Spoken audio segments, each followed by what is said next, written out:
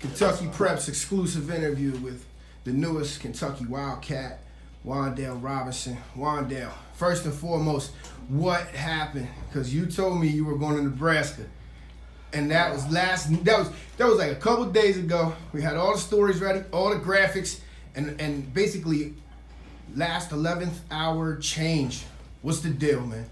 Um, it really just came down to the trust factor and looking at the scenarios on if the worst thing that could happen and where I would want to be in the worst case scenarios of things. And so obviously Kentucky was where I felt the most comfortable and where I had the most trust with the coaching staff. So, so you had trust with Nebraska for a while there, up until you know yesterday. Is that is that correct? I mean, did you make the change yesterday? Um, I'd say so. Yeah, we there was some conversation that happened with the ones that were closest to me, and there were in some conversation that for the ones that were closest to me, and I just really had to come to a decision of where I would want to be either way. So. Okay. Now, um, what what do you want to know? What do you want the Kentucky fans to know? Uh, what kind of player? What kind of young man are they getting right now? Um, I mean, obviously they're getting a really, really good guy, a really good person.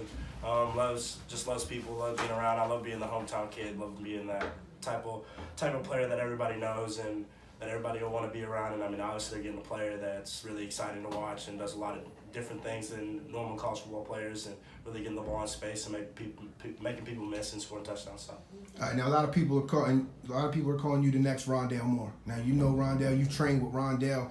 Um, do you think that's a fair comparison? Are y'all two that similar, or what's different? Um, I mean, I'd say we definitely have similarities. I mean, obviously, if you look at our measurables and things like that, we obviously are very, very similar. But um, I feel like I bring a little bit more in the backfield than he does. He's a little bit more of a receiver than I am. Okay. Um, so I mean, I feel like those are the really the big that that would be the big difference between us right there. So.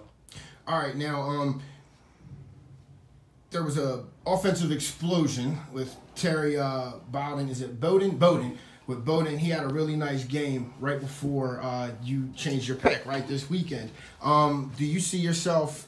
In that kind of a role there? What, what how are they going to utilize you in that offense? Um, just a lot of different places. Obviously, putting me in the slot and letting me work just in different places. Just making sure that I get my touches. That's really the big thing. Is really making sure that I get my touches and being able to get the ball in my hands and doing a lot of different things. So. All right, now you're going to return punts and kickoffs, or have you talked about that? Um, yeah, I mean that's the plan right now is being able to do both and not really um, being limited to one. So. All right, they're gonna let you play a little safety. I mean, I don't know about that, but that's not that's not what I'm going to college to be. But if they if they need it, I'll do it. All right. So, um, your family, how happy were they when you changed your mind and decided to stay home? I, I know you've got a large extended family. Uh, the community kind of took you in as a younger kid, and um, just what were they saying when you told them, you know what, I'm staying home? Um, they were just really excited. They were excited with wherever I decided to go, but they were obviously really happy that I'll be 30 minutes away from home and they'll be able to watch me play at every home football game, even some of the away games. So it was really, really nice to see that everybody that I really care about will be able to come and watch me play. So. Did they like explode in cheering and tears, or was it kind of more like a subdued sigh of relief? Um, kind of like the relief side of everything. They weren't really like cheering or anything yet. I mean, obviously out there they were probably really, really loud and cheering. So that was probably that was the good thing about it. So. All right, so you got a little choked up up there on the stand. Yeah. You know, uh, are you? What's it like? It's it's you're done. You know, on to the next chapter. You're an early enrollee. You'll be on campus in January, correct? Right. And um, so, what what what is your mind right now?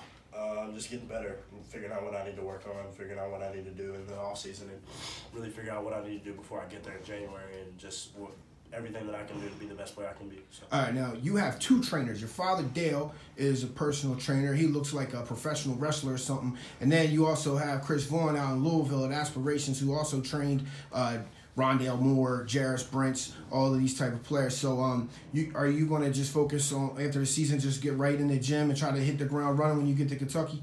Um, yeah, definitely. I'm just really the moment my season's over, I'll probably take a little week off just to rest a little bit, get my body back. A whole week. yeah, let's see about that. But and then really just hitting the gym hard with Chris and my dad, and really figuring out everything that Kentucky wants me to work on and things that I can do better before I get there. So. Okay. Now, there's is there any track you can run? You can run winter track, or is that you're going to be at UK by then, aren't you? Um, I'll probably be at UK by then. Okay. All right. All right. Well, you have it here first. Four star Wan'Dale Robinson is a Kentucky Wildcat. Congratulations.